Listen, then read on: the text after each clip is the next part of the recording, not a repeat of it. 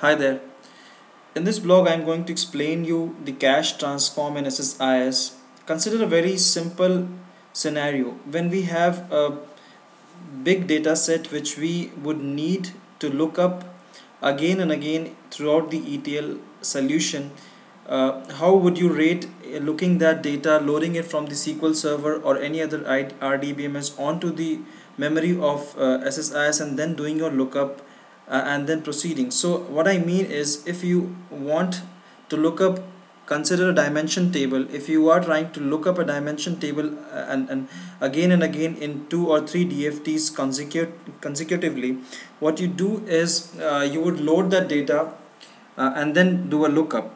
Now what I advise or, or what SSIS does with the help of cache transform is it loads the data and it keeps you it keeps the data ready for you uh, and for multiple lookups you can refer the data again and again without having uh, the trouble of loading the data uh, into the SSIS memory. So that is what cache transform is all about. Now how we can achieve it what are the various ways of doing it that we would learn in this tutorial. So let's start looking uh, what we have here is uh,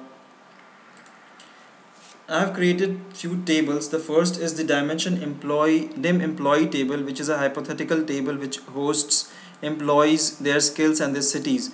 And then I have created an employee key, which is identity int type, and then uh, employee ID or employee number that you can say.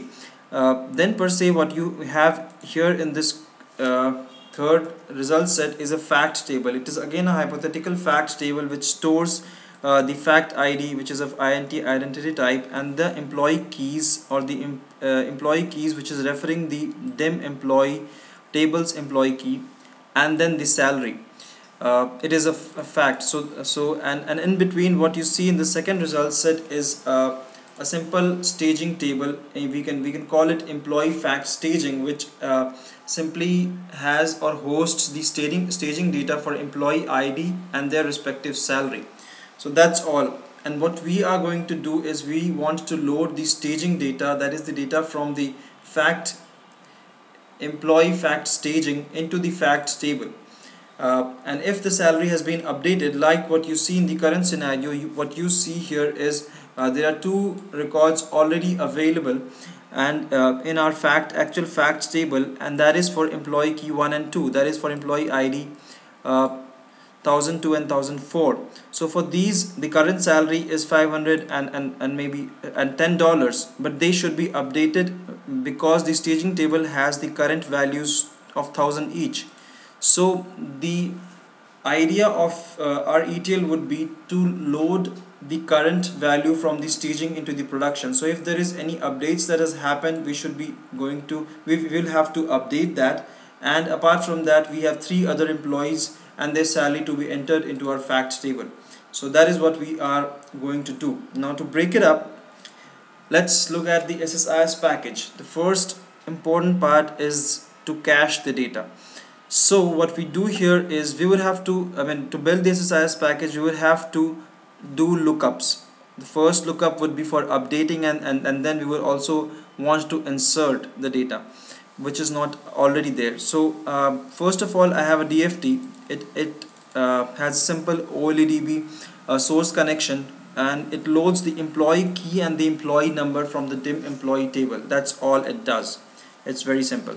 Next what we do is we uh, will learn caching the data. So we pull out a cache transform and then add it here. So what it does is it uh, asks for let me just delete this or let me so I'm deleting this. So let me pull out a cache transform and then it would ask for a cache connection manager. So we already have a cache connection manager. What this cache connection connection manager does is uh, it would ask for a file in case you're using a file cache. So uh, and apart from that we can uh, if, if we don't check this box we are going to load the cache value or, or the data into the memory. So let's uh, that is one option. The other option is a file cache. So uh, we go with the file cache and this is the location where uh, the file cache or your CAW file will be created for the source query that we have defined.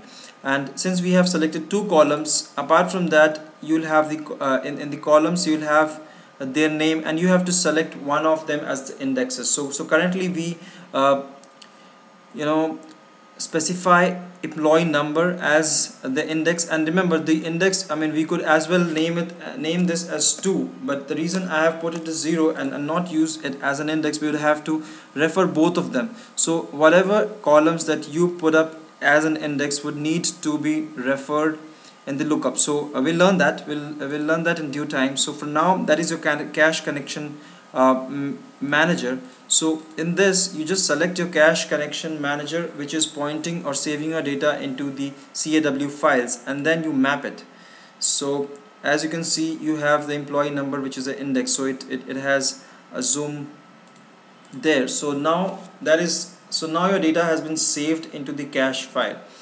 Uh, now next we move on to updates. So first we try to update those salaries which are not in sync for the existing employee keys uh, uh, in the data value. So we have these employee keys which uh, needs to be updated. So we'll we'll take a look how we have achieved that. So next look up what we do is we create a source to our staging table staging fact table. And then so staging fact as you as, we have seen it, it hosts the employee number and the salary and then we move on to a lookup. We do a simple uh, lookup. Here you would be given an option. This is a lookup transformation editor which is here and once you select this you would have to go with the cache connection manager. I mean uh, in, in other scenario you would do a OLEDB connection manager which would actually load the data from the database we don't want that because we have the file ready. So we use the cache connection manager and we say uh, for no matching entries we ignore the failure.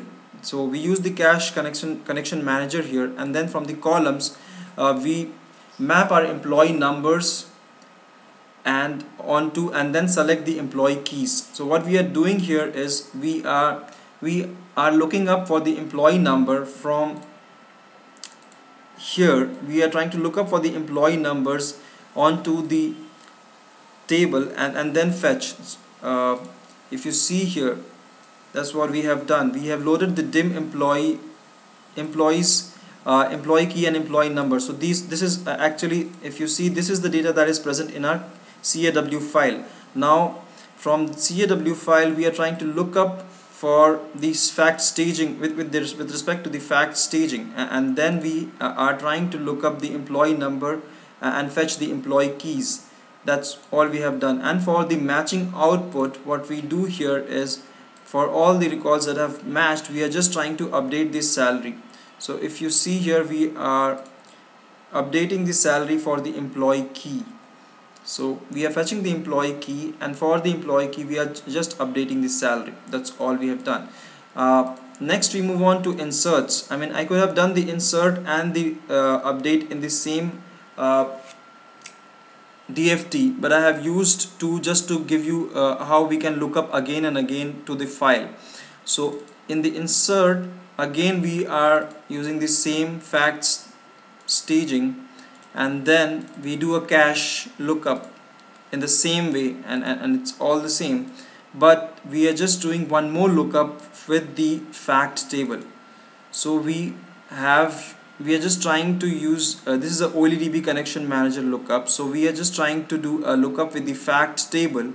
And then we are just trying to see we are just trying to redirect the rows to no match output uh, so all the records which are not matched which means is all the records which are not there these three records from the staging needs to be inserted into our uh, fact table. So that's what we are doing doing here. The second lookup means uh, we are just trying to look it up against the fact table uh, and then for all those records which, not, which are not matched we are simply inserting them into the fact. So that's all we are doing so now let's try to run this package and see. So currently we do not have any CAW files created here. Uh, let's run this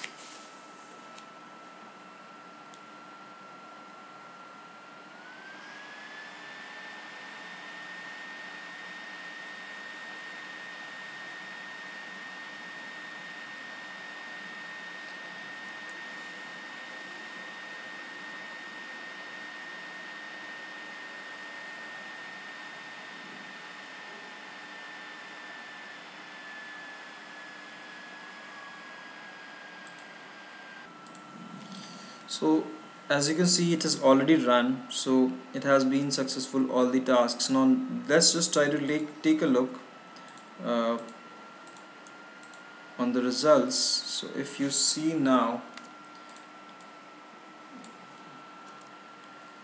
so we can see that the three records have been uh, inserted and the other two two records have been updated. So that was just a, a quick introduction to a cache trans transform and and as you can see there is a new dim emp caw file that has been created. So this file actually hosts your uh, dim tables dim employee tables employee key and employee number. So that's how your cache transformation works and, and that is how you can actually uh, I mean you can actually archive or you can, you can actually store your uh, data for and query data uh, for for you know lookups time and again. I mean if you're having multiple lookups across your ETL you can save on your time uh, on your processing time and also the resources with the help of this transform.